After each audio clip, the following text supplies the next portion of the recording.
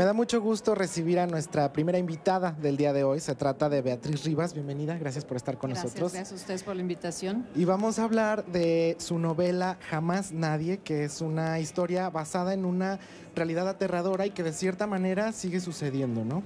Efectivamente, es, eh, la novela está basada en un acontecimiento que yo no conocí, creo que muy pocos mexicanos lo conocen, que es el genocidio de casi todos los chinos que vivían en Torreón en 1911.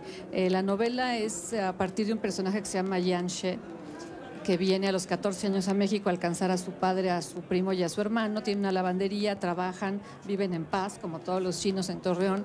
Y en 1911, cuando entran los maderistas a Torreón y huyen los, los federales, la población enardecida con todo lo que está pasando con las revueltas, aprovecha pues, ese, ese momento de confusión para asesinar pues a casi 400 o más chinos de los 500 que vivían ahí. Y fue además una masacre muy cruel, los torturaron. Fue un hecho espantoso, violento, y, me causó mucha sorpresa, primero porque no lo conocía y segundo porque somos muy buenos para quejarnos de cómo tratan a nuestros paisanos en Estados Unidos. Y, y, que somos muy lindos con los extranjeros y resulta que no, que, masacramos a los chinos en Torreón y que en esa época no solo no fue, no fue un hecho aislado, el problema es que era un hecho, digamos, del Estado.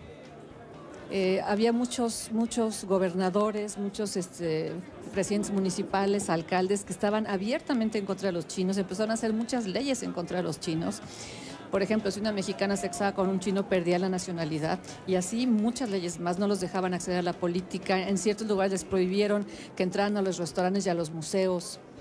Eh, y, le empezaron a decir a la gente que no comprara en sus tiendas, que, eran, que eran una invasión nociva para nuestro país. Digamos que es el mismo discurso que oímos hoy en día en Trump o en los partidos neonazis en, en, Europa en relación a la migración. Y que es algo que sigue sucediendo y que, eh, como te decía, está esa incongruencia en muchos mexicanos, ¿no? Que nosotros nos quejamos de cómo nos tratan y nosotros damos ese trato incluso a nuestros vecinos de Centro y Sudamérica, ¿no? Cuando visitan nuestro país. Efectivamente, de 2010 para acá han desaparecido 120 mil centroamericanos en México. es, es, es, una cifra espantosa, no sabemos dónde están.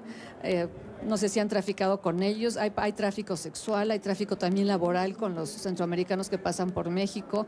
Entonces, sí es el colmo que, que nos quejemos, digo, hay que quejarnos, pero siento que este libro puede servir como un espejo, decir, bueno, los mexicanos así somos, esto hicimos y esto seguimos haciendo, que es lo peor, ¿no? La importancia también de valernos de la ficción para abordar un suceso que es parte de nuestra historia y que me parece también lamentable que muchos de nosotros lo ignoremos, que ni siquiera tengamos conocimiento de él, que no se enseñe en las escuelas, ¿no? Que no, no nos hablen de esto que sucedió en nuestro país y que es parte de nuestra historia, nos guste o no. Bueno, de hecho el gobierno se encargó de negarlo muchos años. Cuando el gobierno chino protesta por este genocidio, lo primero que hace el gobierno es decir, no es cierto, no sucedió.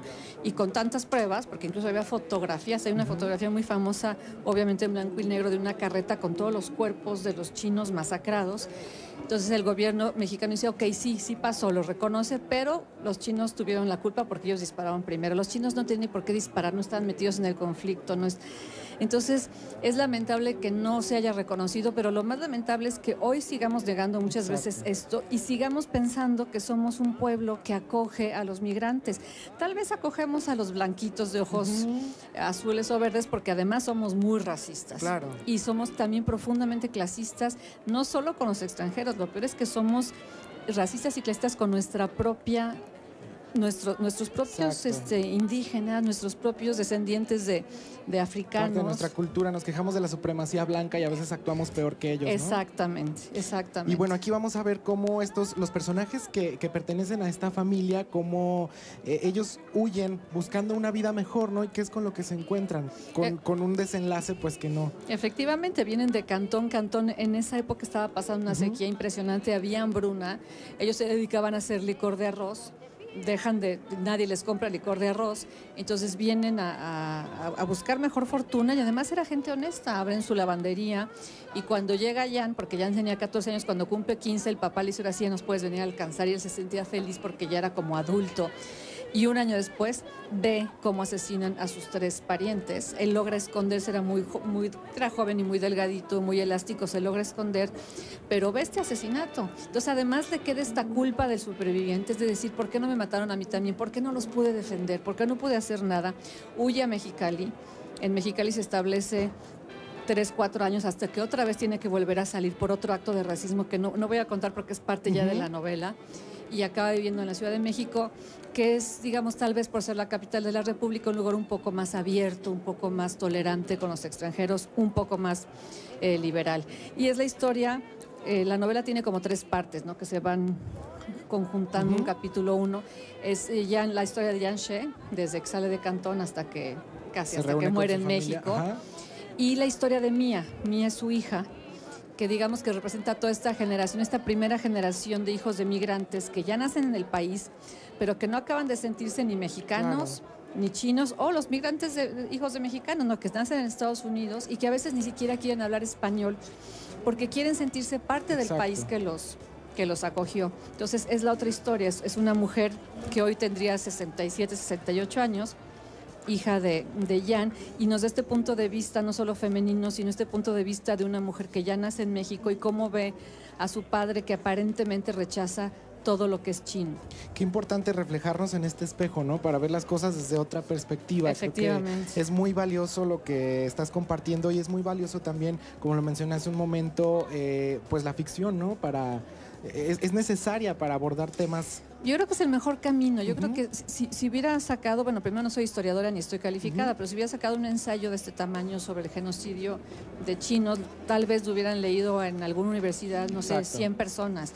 Lo maravilloso de la novela es que yo creo que es el mejor vehículo, no solo para informar, sino para abrir los ojos de la gente y para meterles las, las preguntas más fundamentales. Yo creo que después de esta novela, más que certezas, a mí lo que me gustaría es que los lectores empiecen a hacer muchas preguntas, muchas preguntas referentes a si son o no tolerantes, si vivimos en un país tolerante, preguntas sobre todo referentes a, los prejuicios. Yo estoy casi segura que todos nosotros, incluyéndonos tú y yo, en algún momento dado hemos tenido un pensamiento prejuicioso. a veces es, sí, pero no. Claro, pero aparte es también natural. A mí me tocó un día subirme, digo, hasta me da pena decirlo, pero me tocó un día subirme en un avión y a mi lado venía un musulmán con su mochila.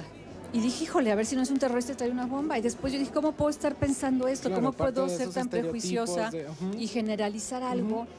Y obviamente ni traía este, bomba ni nada, era un señor común y corriente, pero yo creo que todos tenemos este tipo de pensamientos y de prejuicios contra los que hay que luchar. Exacto, pues Beatriz Rivas, jamás nadie bajo el sello editorial Alfaguara, que presentas hoy mismo, Beatriz. Lo presento hoy, ojalá nos acompañen a las 5 de la tarde en el Salón 2. Tengo el privilegio de que me presente Sergio Ramírez, de quien hablaron hace un momento, que es bueno el, nuevo premio Cervantes, y Maroan Soto Antaki, que además de ser un gran amigo, es hijo de Ikram Antaki, que es migrante, fue una migrante siria. Entonces él está muy metido en el tema de la migración porque finalmente pues es también como primera generación que nace en México producto de una, de una migración, en este caso Siria. Pues ahí está, para que se den la vuelta, están muy a tiempo de disfrutar de la Feria Internacional del Libro y después de asistir a la presentación del libro de Beatriz Rivas. Exacto, ojalá los vea por ahí. Gracias, un gusto platicar contigo. Gracias. Continuamos con más desde C7 Fil después de la pausa.